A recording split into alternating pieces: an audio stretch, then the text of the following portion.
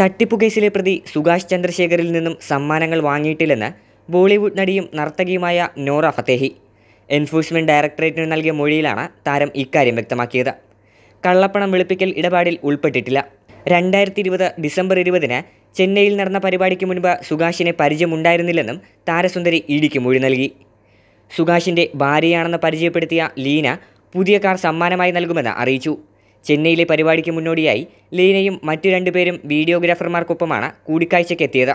തുടർന്ന് എനിക്ക് ഐഫോൺ ഉൾപ്പെടെയുള്ള സമ്മാനങ്ങൾ നൽകുകയും ചിത്രങ്ങളും വീഡിയോയും പകർത്തുകയും ചെയ്തു. On floor manager hair and makeup staff spot boy എന്നിവരോടൊപ്പം ഏജൻസിയിലെ ആളുകളും ഇതിന് സാക്ഷികളാണെന്ന് നോറ ഇ ഡിയോട് പറഞ്ഞു. ലീന ഫോണിൽ ഒരാളെ വിളിച്ച ശേഷം ലൗഡ് സ്പീക്കറിൽ ഇട്ടു. ഭർത്താവാണെന്നാണ് പറഞ്ഞത്. മറ്റു വിവരങ്ങളൊന്നും പറഞ്ഞില്ല. എന്റെ വലിയ ആരാധകനാണെന്നും പരിപാടിക്ക് വന്നതിന് നന്ദിയെന്നും അയാൾ ഫോണിൽ പറഞ്ഞു. പിന്നാലെയാണ് പുതിയ ബി എം ഡബ്ല്യു കാർ സമ്മാനമായി നൽകുന്നതായി ലീന അറിയിച്ചത്. ഇത് വളരെ കൂടുതലാണെന്നാണ് ഞാൻ അപ്പോൾ പറഞ്ഞത്. പക്ഷേ അവർ നിർബന്ധിച്ചുകൊണ്ടേയിരുന്നു.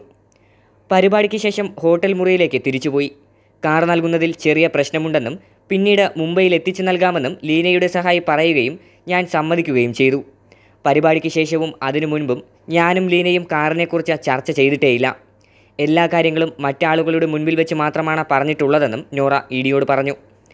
ചെന്നൈയിൽ നടന്ന പരിപാടിക്ക് ശേഷം സുഭാഷ് ചന്ദ്രശേഖറിൽ നിന്ന് സമ്മാനങ്ങളൊന്നും ലഭിച്ചിട്ടില്ലെന്നാണ് നോറയുടെ അവകാശവാദം. ജയിലിൽ കഴിയുന്ന സുഭാഷിനെ ബോളിവുഡിൽ നിന്നുള്ള ചിലർ ഉൾപ്പെടെ പത്തിലധികം അഭിനേതാക്കൾ വന്ന് കണ്ടതായി ഇ ഡി വ്യക്തമാക്കി.